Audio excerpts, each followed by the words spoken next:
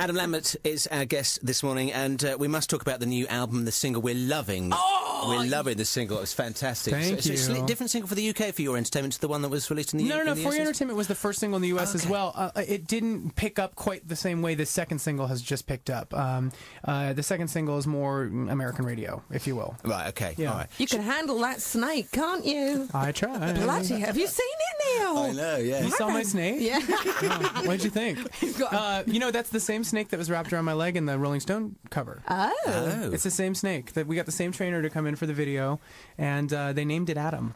Oh, how Oh, beautiful. Yeah, Adam the snake, Adam the python. Should we have a listen to, to the, the single? Definitely. Please, Okay. please. This is for your entertainment, Adam Lambert on Gaydar. That is the title track from his new album. We are joined with American Idol and one of our favourite people in the world, Adam Lambert. Adam Lambert is here. Thank you. You're a very raw sexual performer. Um, is this what you're like all the time? yes, is the answer to that. I think we've answered that. I have a pretty healthy sexual appetite, yeah. Yeah. Especially with a couple drinks in me, you know. Do you ever have an SOS? What does that mean? Shag of show. A sh- what does that mean? Shag of show. When we interviewed, there's a, there's a band here called the Four Puffs. Uh-huh. Four Puffs on the piano, and when they perform, they always look in the audience and they see who they like. Oh, of and course. that's their SOS. Of shag course. of show. No, I love doing that. Yeah. I've always, yeah, of course I see who's cute in the audience. But it's funny because the majority of my audiences are um, straight women who are a little older. So it's it's and which is totally flattering, and I love that they love the music. But sometimes I wonder, I'm like, where are the boys? Ladies, bring your friends. Come on.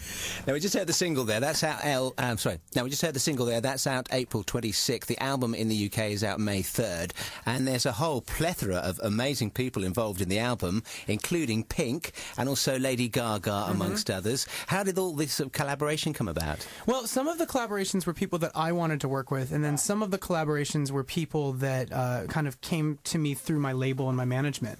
Um, you know, I, de- I worked with. I really wanted to work with Gaga. That was a blast. That experience was crazy.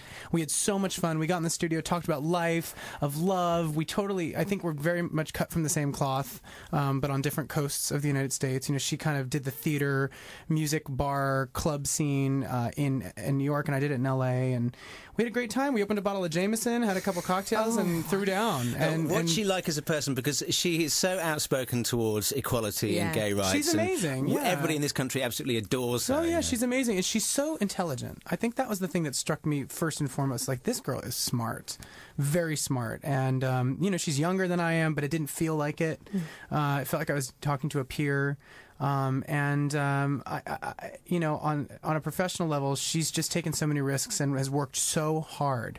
So she's an inspiration. Have you caught her live show at all? Yeah, I saw it in Los Angeles. I loved it. Yeah. It was fantastic. Now it was different apparently than the one Yeah, here. well, she apparently she junked the whole show and did a different one when she came She's, to the oh UK. gosh, she's quite impulsive. You know, Yeah, it's just very part of so. why she's so genius. Yeah. And then um, I also uh, I worked with Linda Perry as well. that was a Oh. great collaboration. And she, you know, the thing that was so cool about her is that she really reminded me that in addition to making music that was commercial and and that would help keep me on the scene, that I should on the album really take some risks and do stuff that was a little bit left of center. And um, like her track, for example, isn't necessarily a radio track, but it's this beautiful kind of space glam ballad in the falsetto, and the lyrics are really kind of abstract. And I loved working with her. Well, I mean, must have done uh, some uh, helped a lot because I think you're on onto um, sales in the states of just under a million. Is it? It's about seven hundred fifty thousand or something. That's so the far? single. Yeah, That's the single. The single's just yeah, it's at seven seven hundred thousand something, and Fantastic. then the album I think is at like five or six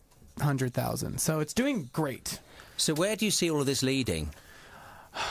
hopefully just more of it. Like my my whole thing is, you know, people get off of Idol, and sometimes they just kind of crash and burn after 15 minutes. And so my big goal is really just longevity and to keep doing what I love and to keep entertaining everybody and keep getting to put out videos and singles and get them on the radio and make cool music and just be eh, you know on, on, as far as the gay thing goes, you know, I was a little bit intimidated by taking on any sort of mm, role or anything, but I've gotten to the point now where I'm like, you know what? I am proud of who I am and I want to stay visible in the music scene for everyone, but for, especially for those kids that didn't, like myself, that don't have anybody that's mainstream that they can look at and be like, that person's proud of, of their sexuality mm-hmm. and that the fact that they're different. And so I want them to feel proud of who they are. Did you have anyone like that when you were growing up? Not really. No, it's, That's the thing, and like, there's not a lot of it, and it's time for a change. Were there any particular performers that inspired you when you were younger? I mean, Definitely, and a lot of them, uh, funny enough, are UK artists, which is why I'm so excited to, to bring the album here because I kind of feel like the sensibility here is more like mine. Um, I, I, Freddie Mercury, um, David Bowie. I say Bowie, yes. He's such an influence for so many generations, amazing. isn't he? yeah, Yeah. he's just amazing. Uh, Boy George is fabulous. Oh yeah, well he Yeah, loves we- you, we- doesn't we he? got a picture of you with Boy Yeah, George. I met him love in here. I met him last week, and he was so nice, so down to earth. Love his makeup. Um, but I, you know, I, actually, it was so funny that I got a chance to meet him too, because just a couple weeks ago, I was talking to my stylist, and I was like. I want to. Do you ever see those old Bowie or the old Boy George pictures? I'm kind of feeling his like Mm. look because it was kind of street, kind of glam.